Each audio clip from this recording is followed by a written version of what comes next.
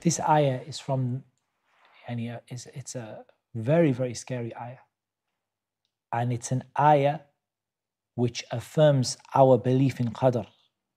وَكُلَّ إِنسَانٍ أَلْزَمْنَاهُ طَائِرَهُ فِي عُنُقِهِ Every human being has their fate sealed upon their neck.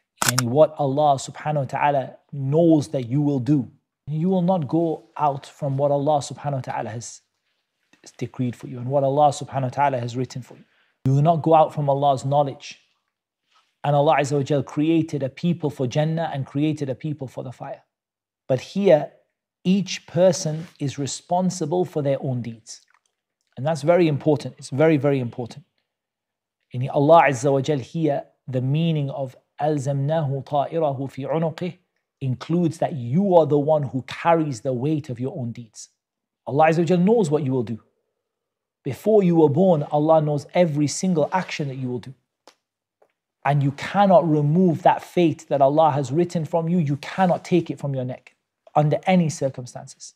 But Allah Azza wa has bound it to you by giving you free, and we don't say free will, free will is the wrong word, by giving you limited free will or limited will. I don't like the word free will because free will indicates you can go against the qadr of Allah. You cannot. It's bound to your neck. But the meaning here is that you are responsible for your own actions. Allah has given you that responsibility. You make the choices, you choose guidance or misguidance. But know that your choices cannot be carried out without the will of Allah. So, what does that leave you? Does it leave you in despair? It should leave you with two things. Number one, your desperate need of Allah. Allah has bound your fate to your neck. If you don't beg Allah Azza wa Jalla and ask Him for guidance, you will do the deeds that are suited to your choices. And you will have the fate that is suited to those choices. And it is bound to you, it will never ever be removed from you.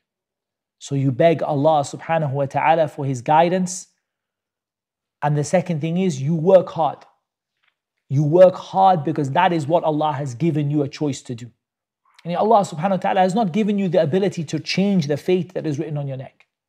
Allah hasn't given you the ability to take it and write it again. But Allah has given you the ability to work hard. And Allah said, وَالَّذِينَ جَاهَدُوا فِينَا لَنَهْدِيَنَّهُمْ سُبُلَنَا Those who strive for us, here the word jihad is general. Those who work hard, we will certainly guide them to the path to Jannah the paths that lead to Allah's pleasure. So if a person and he wants to be from the people whose fate is good, very simple. Beg Allah subhanahu wa ta'ala and work as hard as you can. And with that, know that there is no guarantee. If Allah were to punish you and I in this very moment, He would not be unjust. His punishment would be just and fair. So you only have Allah's ni'mah and Allah's fadl and Allah's ihsan. That is all you have. You don't have a choice, for, you don't have a hope for anything else. And your deeds will not save you. Whoever you are, whoever is watching, how much you pray, how much you how much you fast, know that it will never be good enough. Rather, if Allah wanted to punish you despite that ibadah, it would be just. But you depend upon Allah's rahmah, Allah's ni'mah, Allah's fadl, Allah's ihsan, that Allah Azza takes this any pathetic, any we brought pathetic, lowly, poor quality goods. Yet we ask Allah Azza to, for this sadaqah upon us.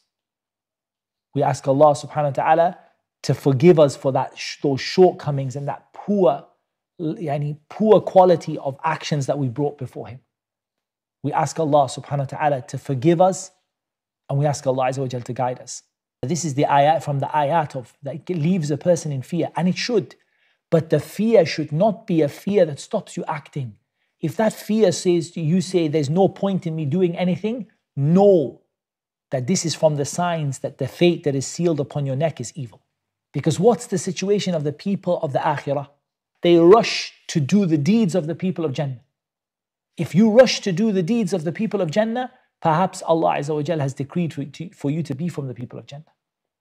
And if you refuse to do the deeds of the people of Jannah, perhaps Allah Azza has decreed for you to not be from those people. So all you can do is to rush to do the deeds of the people of Jannah and to beg Allah Azza wa for His mercy. In Yawm al-Qiyamah, Allah Azza wa will bring out a book. Every single thing that this person has ever done will be written in it.